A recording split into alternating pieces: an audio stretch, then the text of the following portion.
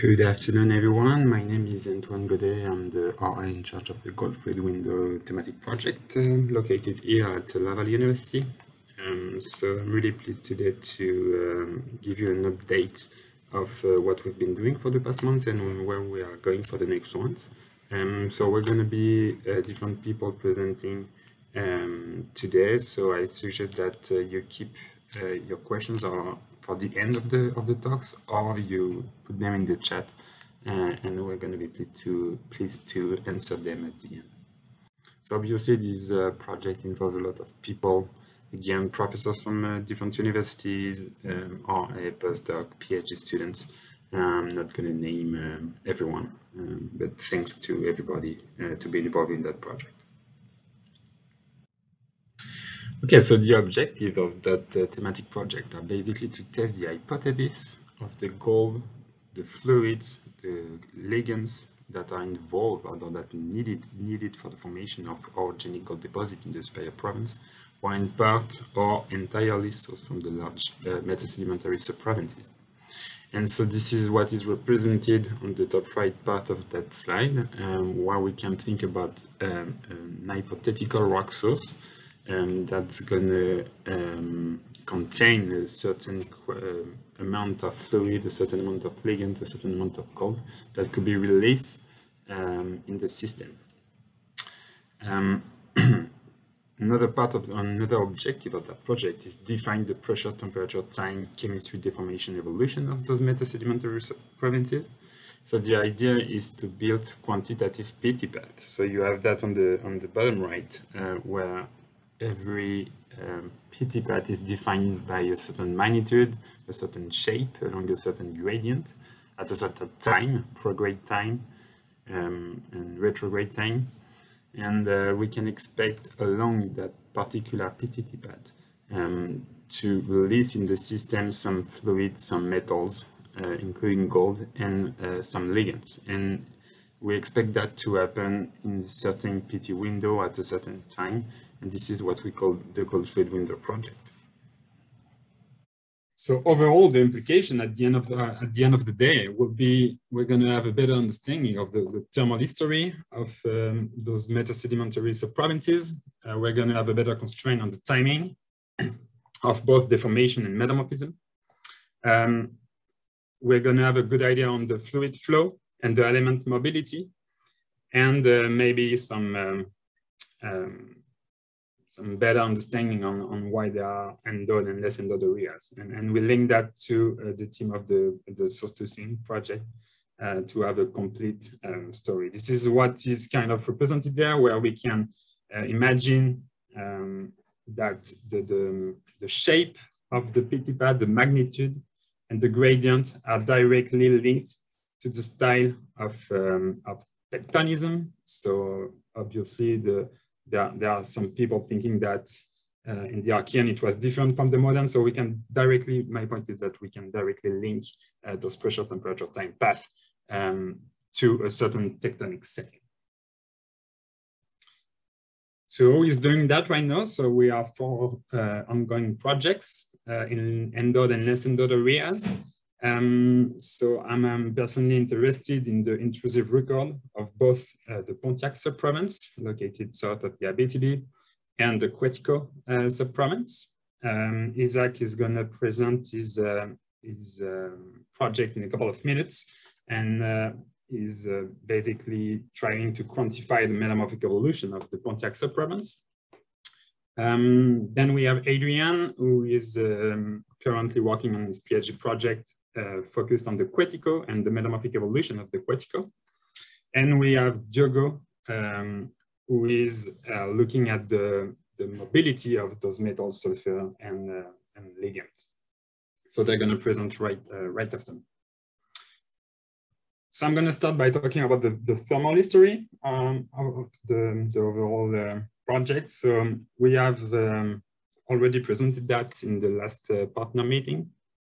Um, but the idea was to investigate the thermal history of the northern Pontiac subprovince by looking at the granitoids. So the research questions, um, or sorry, I should start by looking at the map. So as you can see on the on the map, um, so this is Rouyn-Noranda, this is Malartic, and, and, and the northern Pontiac is mainly composed of granite, um, granitoids or intrusive bodies. So in pale blue, you have the sediments, but as you can see, there are different um, granitoids intrusions um, divided um, in different chemistry. I'm going to talk about that uh, in of minutes. Um, and we have that big one, which is the Decelles batholith. There is another famous one that is the Fournière Pluton, uh, south of, um, of Malartic, and uh, some different other plutonic uh, suites. So the questions were, um, what is the impact of the magmatic intrusion on the, on the gold window? Uh, what is the timing of those intrusions and how does it link to the tectonic metamorphic evolution of the Pontiac? Um, what type, what kind of magmatism? Um, can we better define the sources? And um, what is the proportion of magmatic volatiles inside the metamorphic background?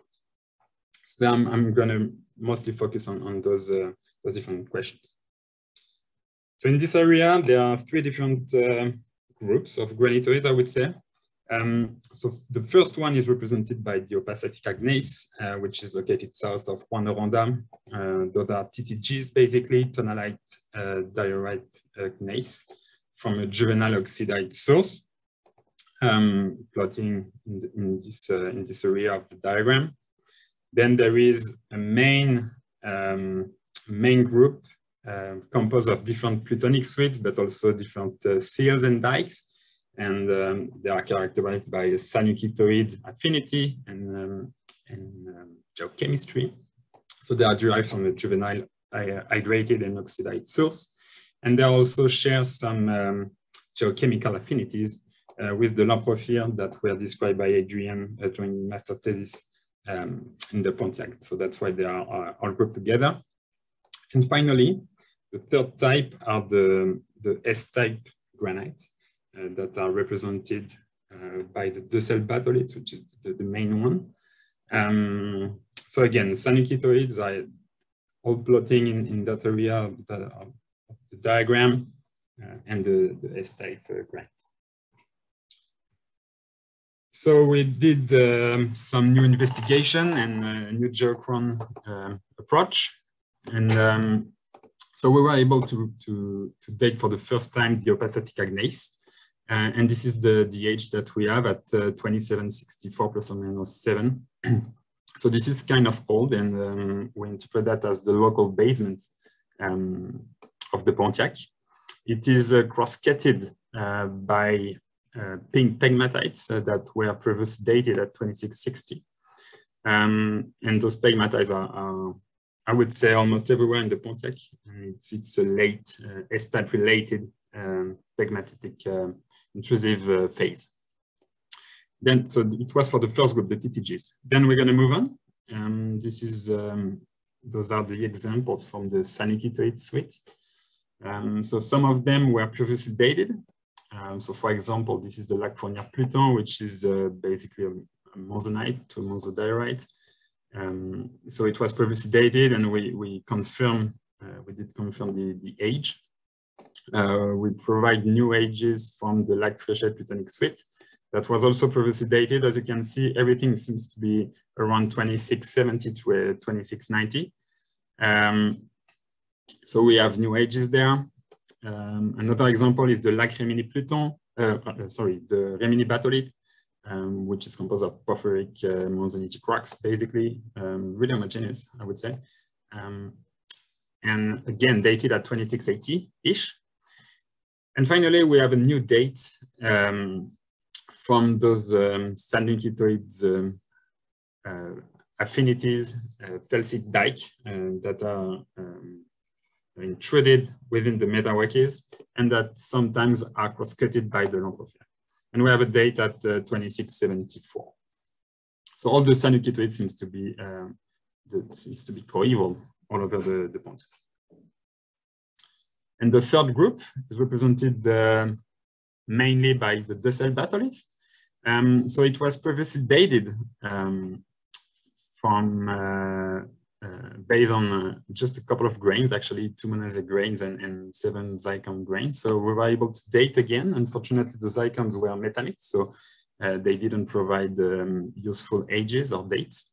But we were able to uh, date the monazites. And uh, from the monazite, we are able to say that um, there is a, um, a, protracted record from uh, 2670 to 2620. So we have a long-lived um, monazite story uh, for the Decelles batholiths, which is, by the way, composed of uh, uh, muscovite, biotite, and, garnet. Um, I should mention that the Decelles is uh, deformed. We have uh, some evidence of deformation uh, within the Decelles batholith. So if we put that together and if we compare with what is what has been compiled in the literature from the Abitibi province, so this is the Pontiac, there with the, the new ages.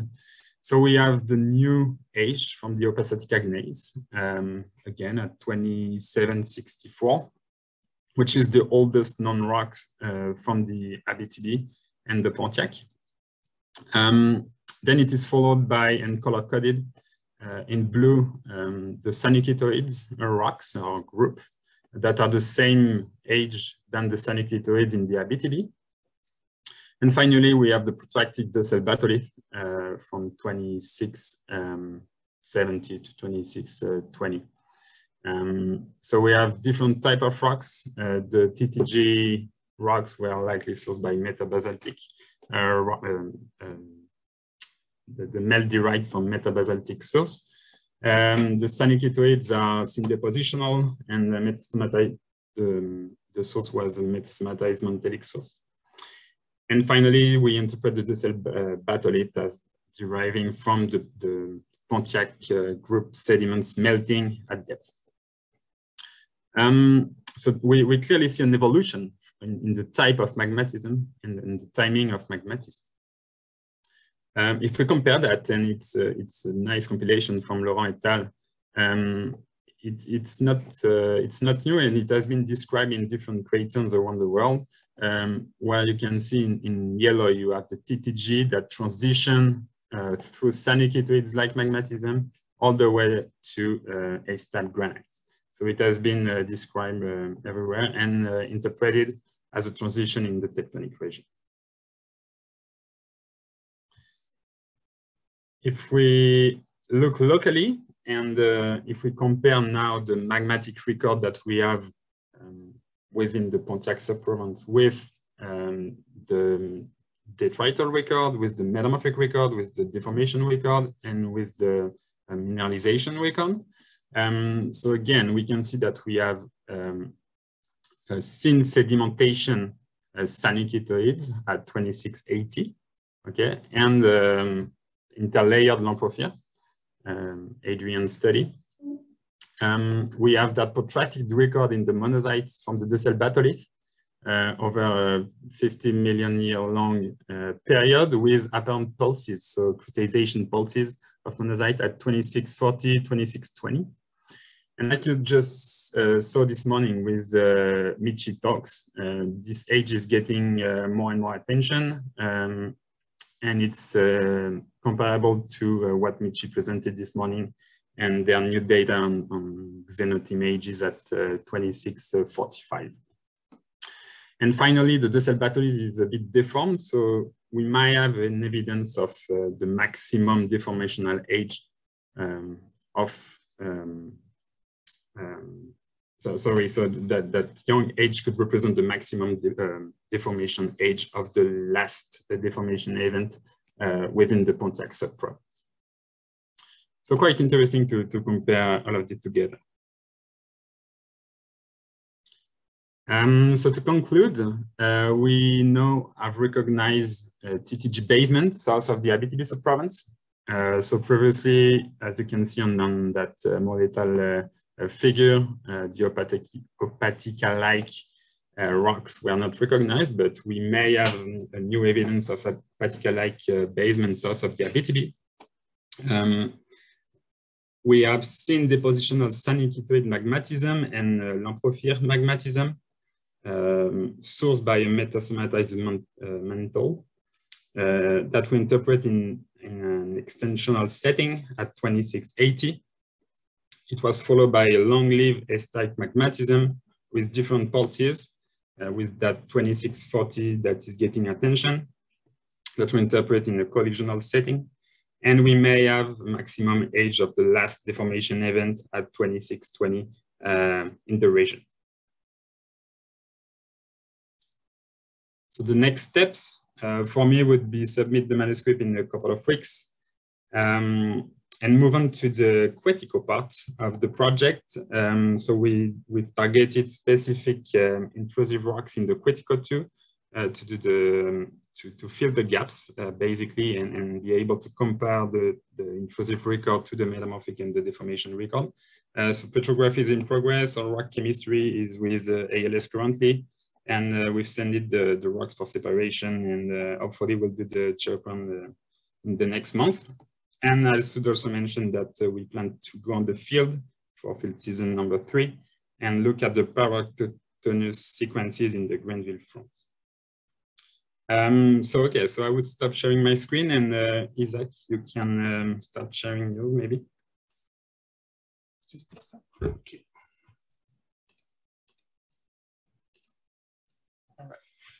Can you can you see my screen, right? Yep, go for it. All right, perfect. Hello, everyone. My name is Isaac, and uh, I'm a PhD student at the Université Laval uh, in Quebec. And today I'm going to present some results of my project, especially focus on the new constraints on the PTTD metamorphic evolution of the Pontiac metasedimentary subprovince. My project is supervised by Professor Carl and is co-supervised by Professors Georges Beaudoin and Crystal Laflamme.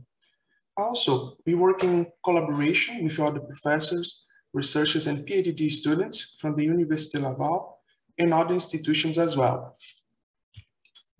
The Pontiac province is an European terrain with a highly debated tectonothermal evolution.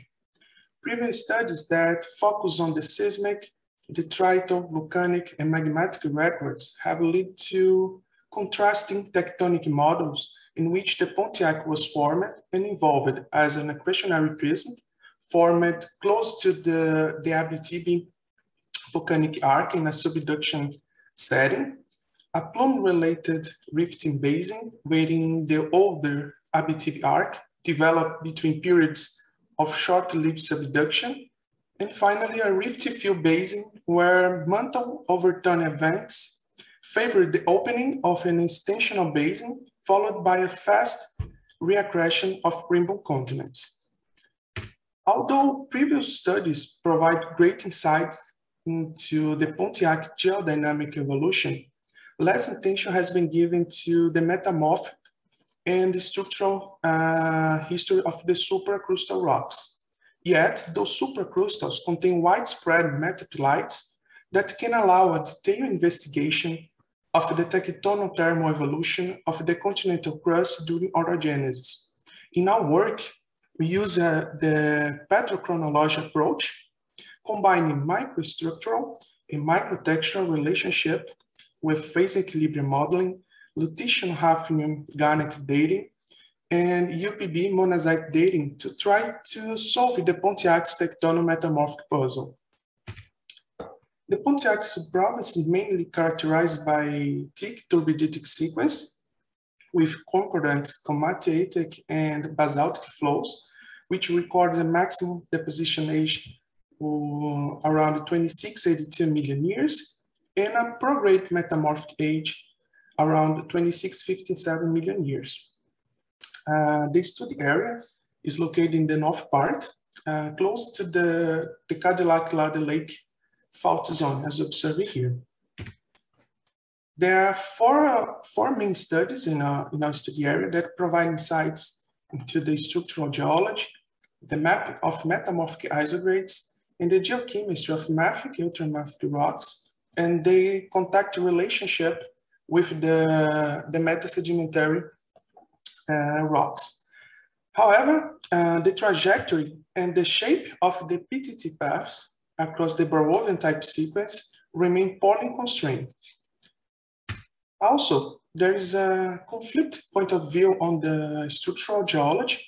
Even those previous investigators report a north to south uh, type metamorph field gradient and southeast version uh, fold and thrust structures, it remains unclear if the metam uh, whether the metamorph field gradient is continuous or disrupted by an inferior thrust fault separating two nappes with distinct uh, tectonic fabrics and metamorphic PTT paths.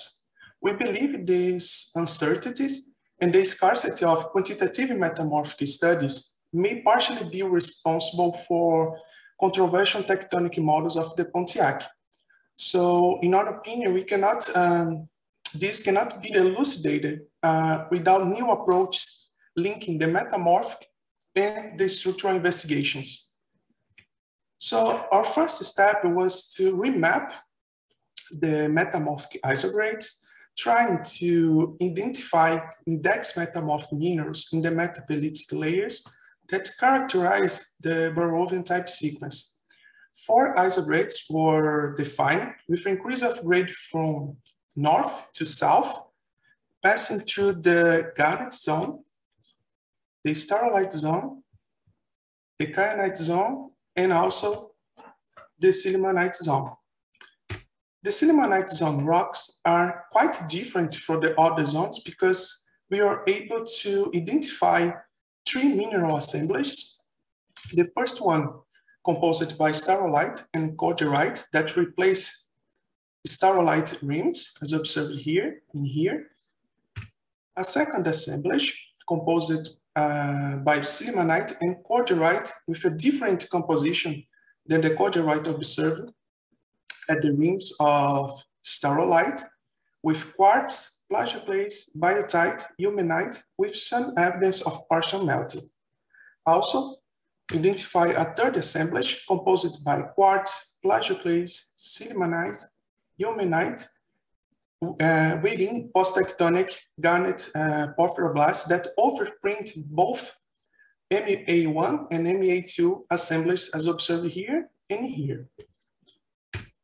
As described in previous studies, two deformation phases were recognized.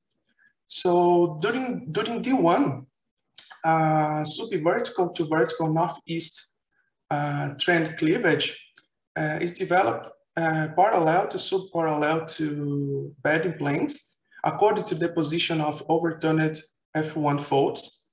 D2 is responsible to, for overprinting D1 related structures, producing a vertical east-west uh, trend crenulation cleavage that's axial planar to the regional F2 folds. Here we have one example of the relationship between the F1 and F2 fold generation in a transposed quartz vein and the relationship between the S1 and the S2. With a better knowledge of the, the, of the deformation phases, we start to looking for clues in thin sections to link the sequence of deformation phases um, to the development of porphyroblast growth across different metamorphic zones. The S1 in thin sections mainly occur as microlithons, as observed here, separated by cleavage domains associated with the S2. The S2 progressive, progressively evolves from dark seams uh, to the north part of the area to a completely transposed uh, lepidoblastic texture to the south where we cannot observe anymore the S1 in the matrix, only in the, some porphyroblasts such as staurolite. The relationship between the S1 and the S2 fabrics linked to the porphyroblast growth suggests that the metamorphic uh, mineral assemblies grew after the onset of D1 continuously, uh, continuously through and after D2. We also obtain whole rock compositions from different samples uh, for different metamorphic zones that are plotted here in the AFM diagram. The lack of uh, grade-related trend composition suggests that the regional distribution of the mineral assemblies in the Pontiac is primarily controlled by variations on the metamorphic grade rather than whole rock compositions. We have selected four metapelite samples with low variance um, mineral assemblies that we use for the phase equilibrium model. So here we have the, the different steps we follow to retrieve the peak PT conditions from the metapelites. So first we use the whole rock geochemistry data, and then we choose the compositional system we want to modeling. Uh, from that, we are able to calculate the topology of the PT phase diagrams. Also, we have carefully described the, the thin sections to identify textual relationships between minerals and microstructures. And to calculate the, the modal proportions and the isopleths, we have used the microXRF maps and the mineral, mineral chemistry. After we finish calculating the PT diagram, as observed here, uh, the topology, the first thing to do is to check if we can reproduce the equilibrium mineral assemblage observed in thin section. Thin section. If so, we calculate the isomodes of the main mineral phases and the isopleths from grossular contents in garnet and anorthite contents in plagioclase, which gave us a peak PT conditions uh, around seven, at around 7.5 kilobars, 680 uh, degrees. This was the the approach uh, applied for all the PT phase diagrams we calculated for the, the other metamorphic zones. Have obtained Lutetium hafnium garnet ages for all the metamorphic zones, which is consistent with previously uh, published ages around 26, uh, 57 million years from the staurolite zone rocks in the south of Val and Malartic. And here we have the representative Lutetium maps for all the zones, where we can see our oscillatory zoning in most samples and a well-preserved growth zoning, with most Lutetium uh, confined in the cores, meaning that internal diffusion hasn't disturbed the system. So based on that, we interpret these garnet ages as the time of prograde metamorphism and the crustal thickening. We also perform U-Pb monazite dating only for the, the kyanite zone and uh, the sillimanite zone, the zone because of the, the lack of monazite grains in the garnet and staurolite zones. For the, the kyanite zone, monazite age of 2657 million years, which is similar what we obtained for Lutetium hafnium garnet age. But for the sillimanite zone, monazites yield the old age of 26, 67 million years, which represents a time span of 10 million years when compared with the prograde metamorphic age. Our results from petrochronology point toward a polymetamorphic history of the Pontiac, which we, we can divide into distinct metamorphic events. Our first event a first low pressure and high temperature metamorphic event recorded by 2667 million years crystallization of prograde monazite associated with the MEA2 assemblage with sillimanite and cordierite. Also, uh, not evidence is the monazite trace uh, element contents from the sillimanite zone that are less fractionated when compared with the, the kyanite zone sample, which records 26, 15, 7 million years, which means that uh, the monazite grew prior to the garnet during prograde conditions. Isobaric uh, PTTD heating path, uh, roughly estimated around 3 to 4 kilobars and 500 to 700 degrees outside the stability field of garnet is interpreted for this metamorphic event. And uh, in the absence of textual um, evidence, we could not predict, predict uh, retrograde path for this metamorphic event.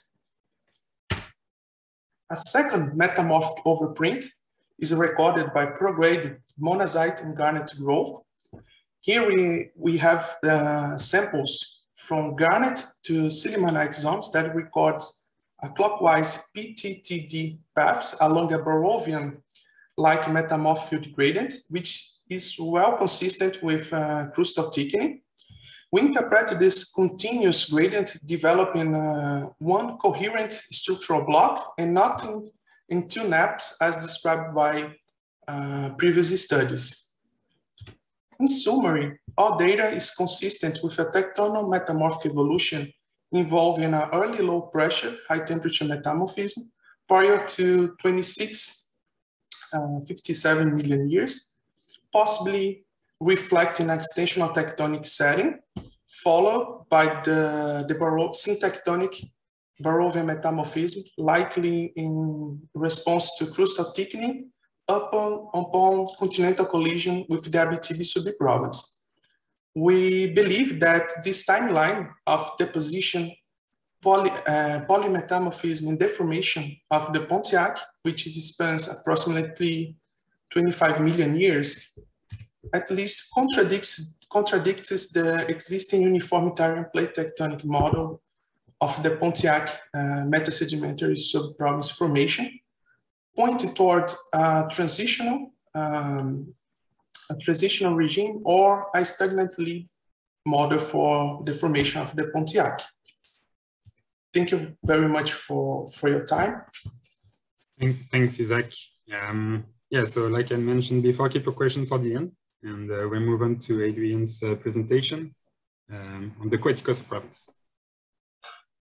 All right, so hi everyone. My name is Adrian Rehm. I'm a PhD candidate in my second year uh, with this uh, with the Gold Fluid Window team, and I'm at the at Laurentian, um, working with uh, Doug Tinkham and uh, Carl Carl Guillemette with uh, as my supervisors, and Antoine, of course.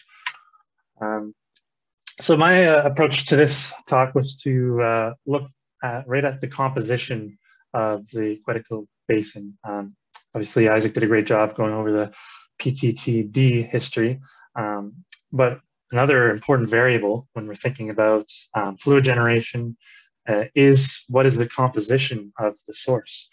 And so, uh, you know, a lot of people like to think of the Archean uh, metasedimentary, metasedimentary basins as uh, just just boring wackes, uh, but it gets a little bit more complicated than that. And in fact, we have several different um, types of lithologies that experienced um, progressive metamorphism and thus could have um, and uh, different mineralogies, um, which ties directly to the fluid being released, uh, the type of fluid and volume and at what time the fluid is being released.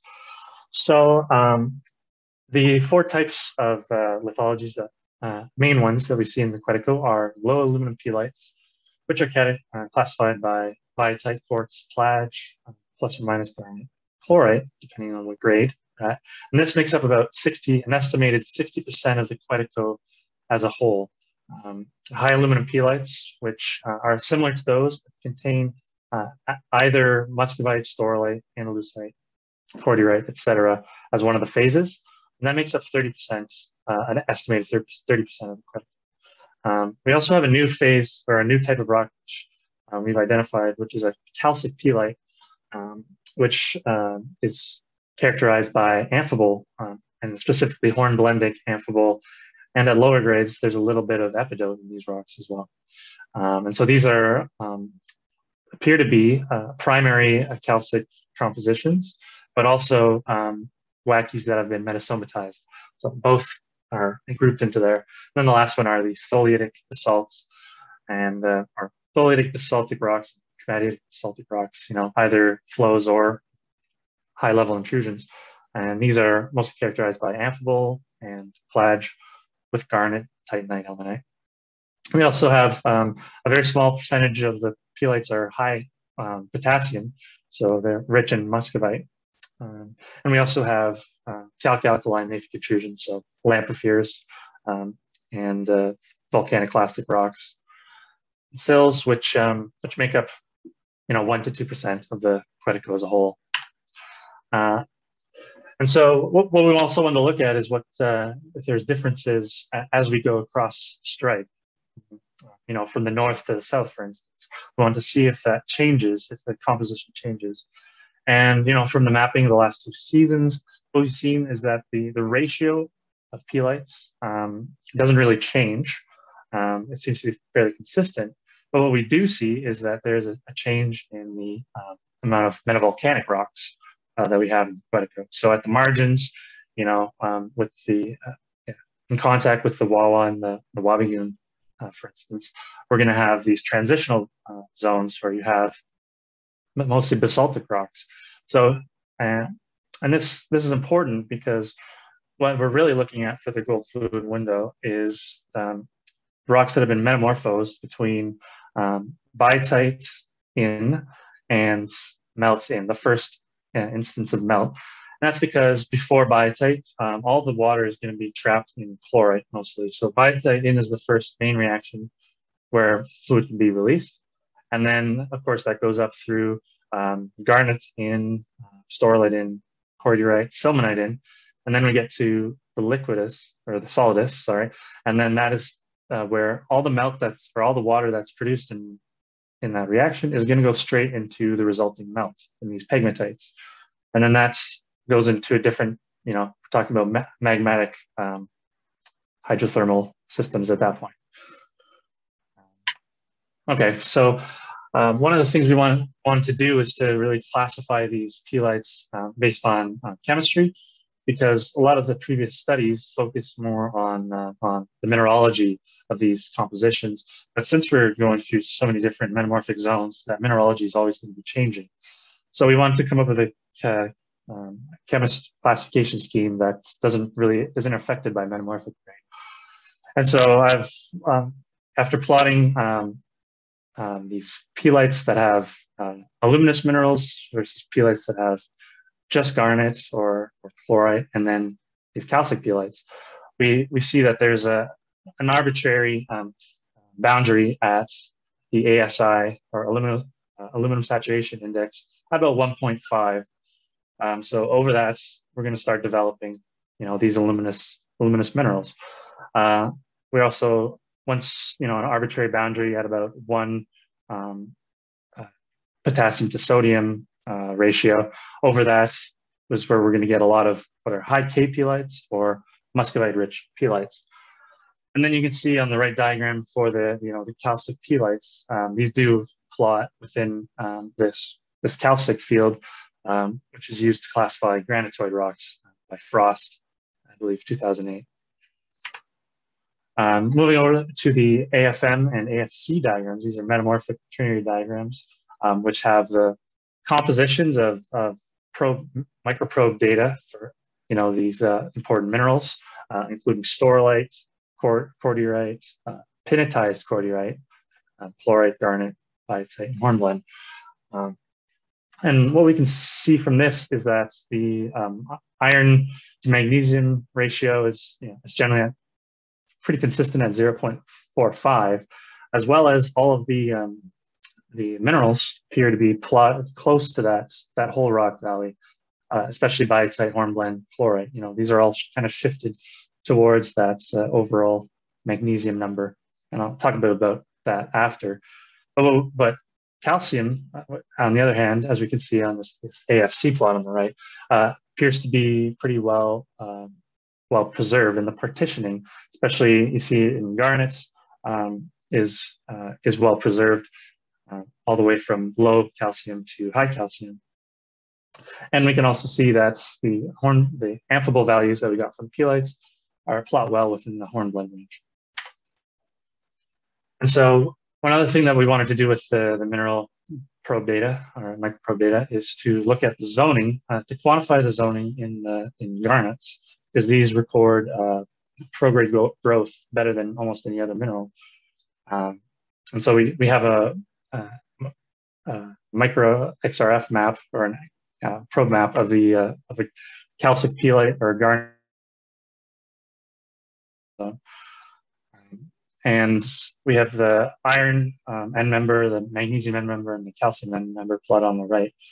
And what we are seeing with a lot of these garnets is that there's a, a major diffusional exchange um, that appears to be happening with biotite. Um, not only sometimes it's just at the rims, like as we can see in that one, or it can be the entire garnet is just completely diffused um, by this, uh, this diffusional exchange with biotite. It's something that has been described a lot in these Archean metasedimentary rocks. Um, the magnesium zoning, which is uh, typically shows a, a, bell curve shape or a bell shape, I should say, um, appears to preserve a lot, some of that, but there there is uh, it is a bit flattened. Um, so maybe a bit of diffusion of is also is also happening with biotite.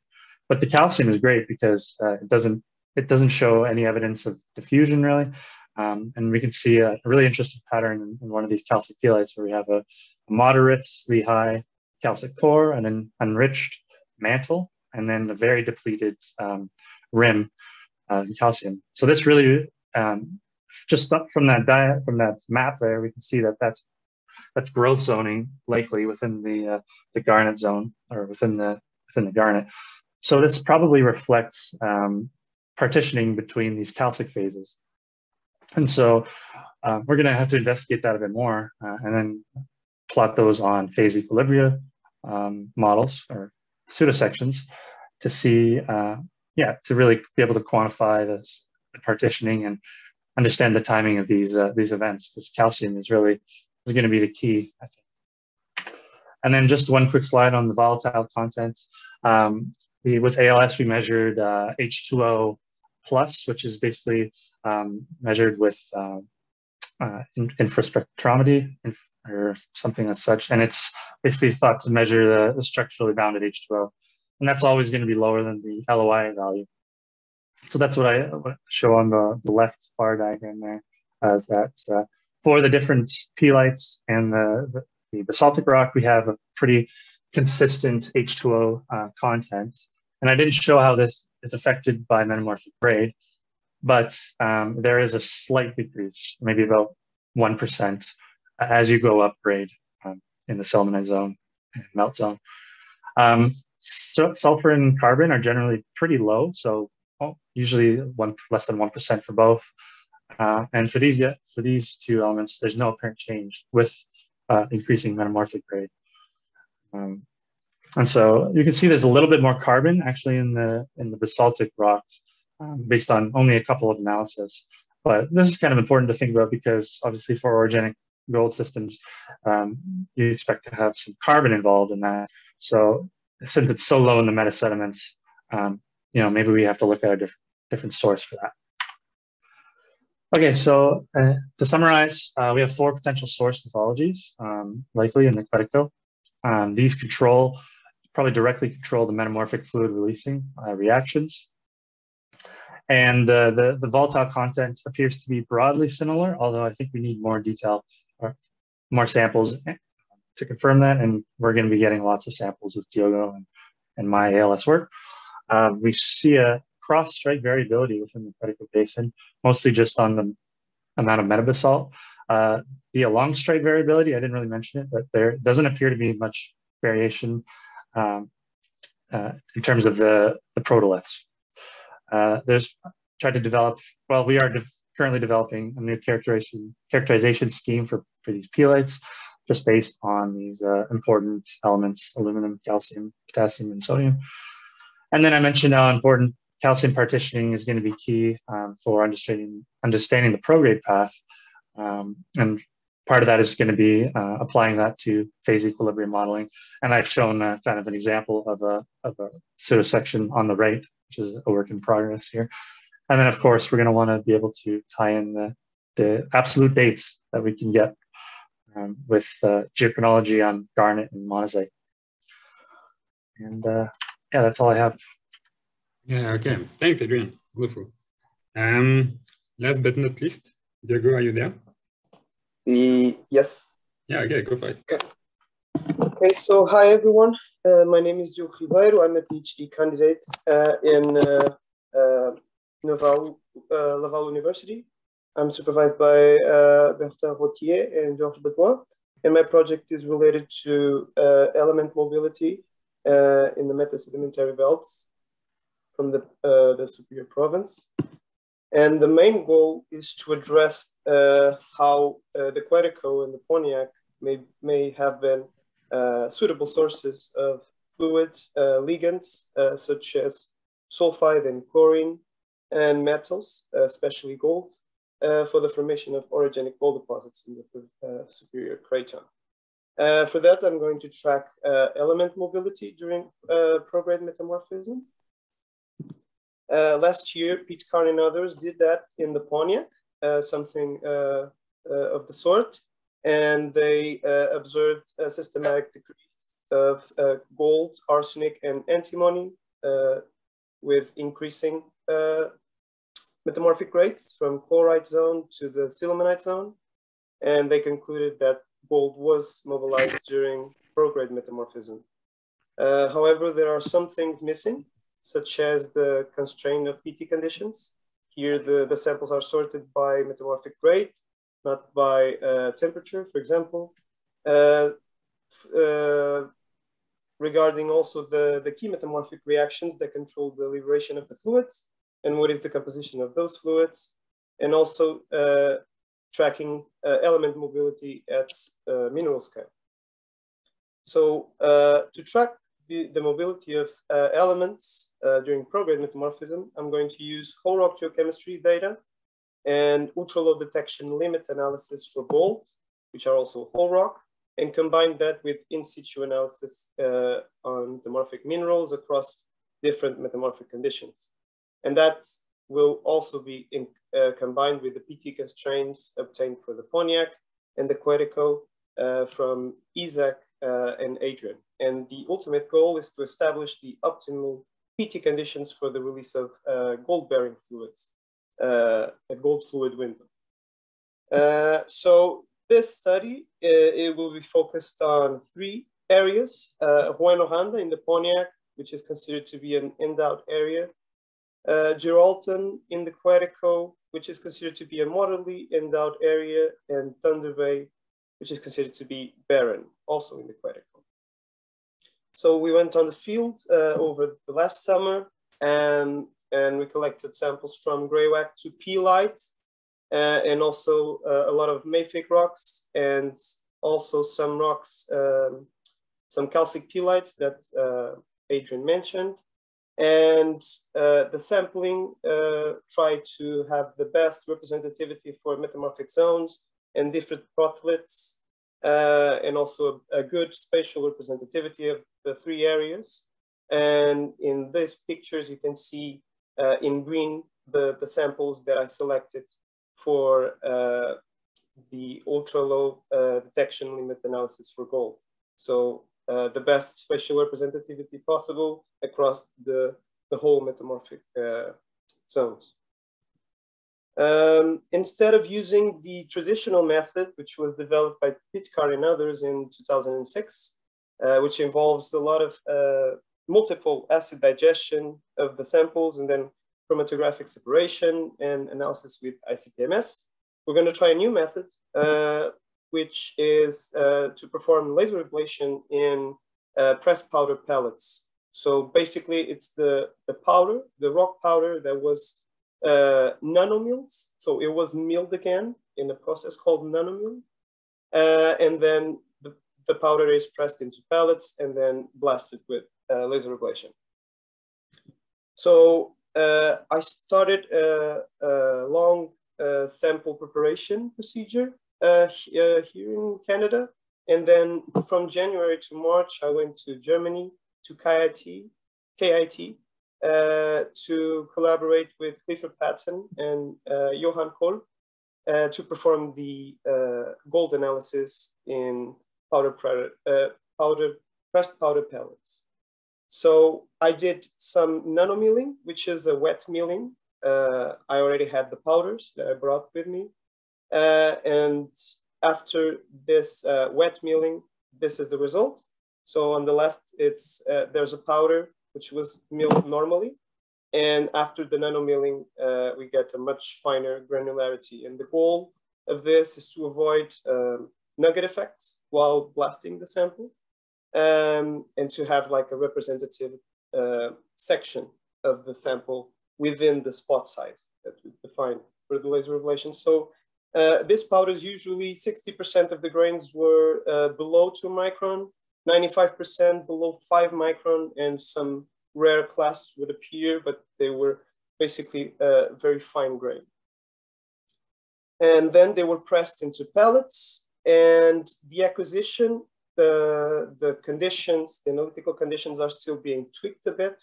We're still testing, uh, but we do uh, four, four spots, uh, four shots per, per, per sample, per pellet to ensure that they're homogeneous.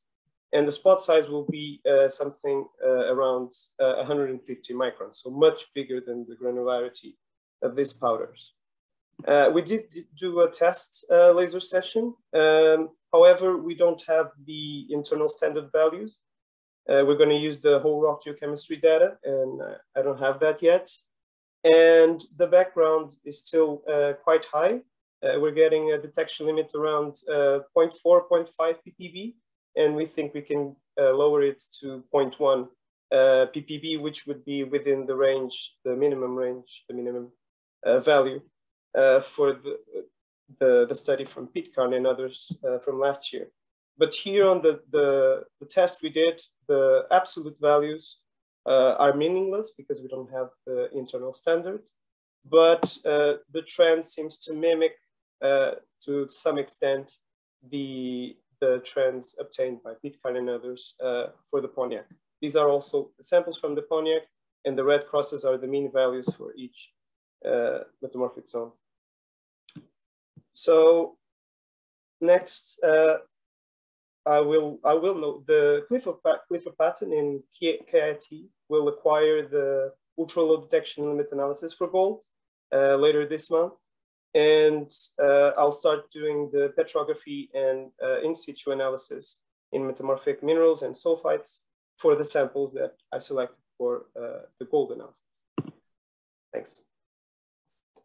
So I hope we gave you a good uh, overview of the Gold Fluid Window project uh, ongoing. And if you have any question, we are happy to answer them.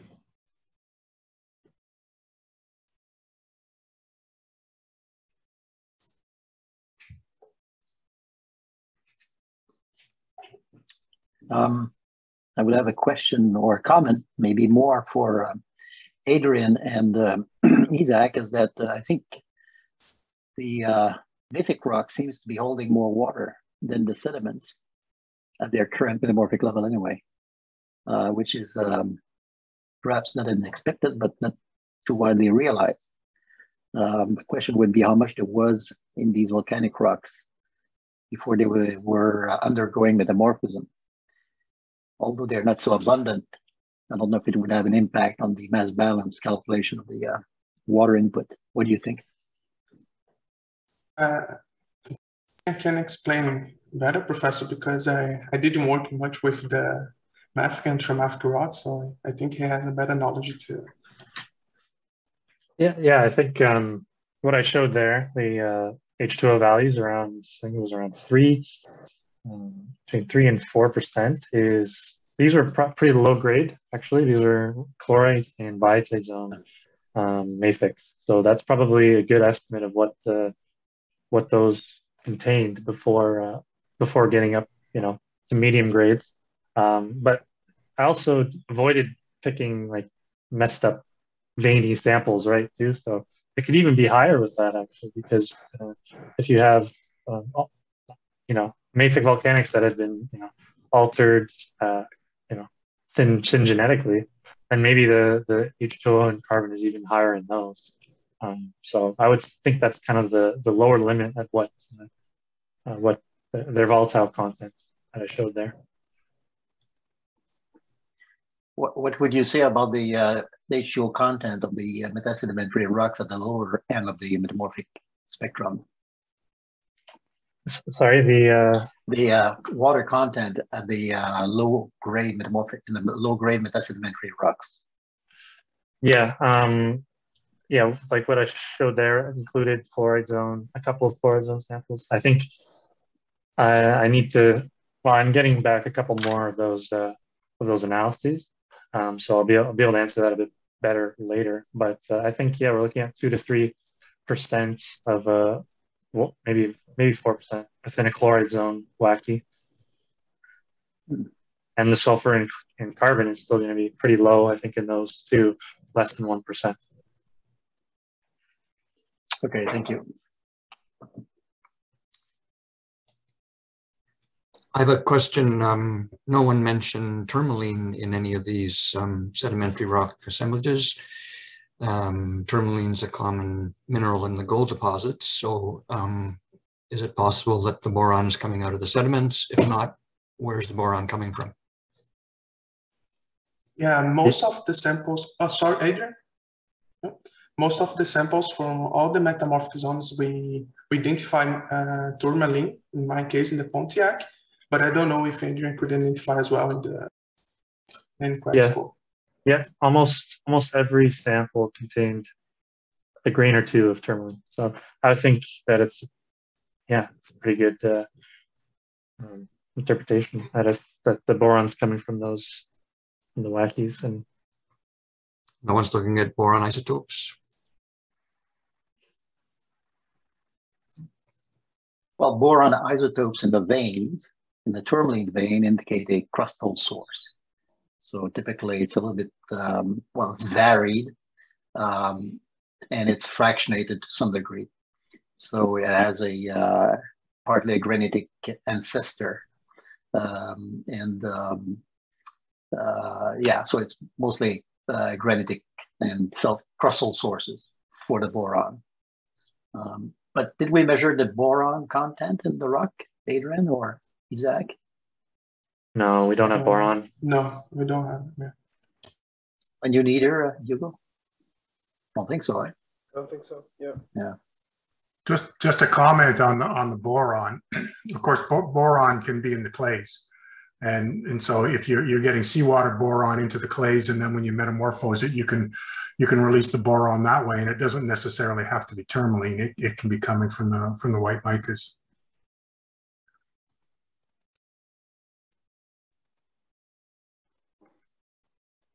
Well, I think it's a really good point, and we'll try to track boron, whether as modal proportions of tourmaline across uh, metamorphic gradients or uh, through whole rock analysis, something we hadn't paid attention to. Really good point. Thanks. I think uh, it's Ross here. I think you know empirically, you know when you get into you know across the the Proterozoic rocks into Ontario, there's no tourmaline in those quartz veins. Very very little and you don't have the Pontiac down to the south. So I think it's an empirical relationship that, that bears paying attention to.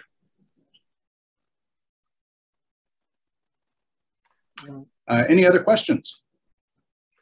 Yeah, I, have got one. Is is uh, anyone has attempted to do some kind of mass balance calculation in, in in the sense of looking how much gold there is in the sediment and seeing if there is what would be the catchment, um, what would be the volume needed of sedimentary rock to produce the, the gold deposit that we see along the Larder Lake Cadillac Deformation Zone?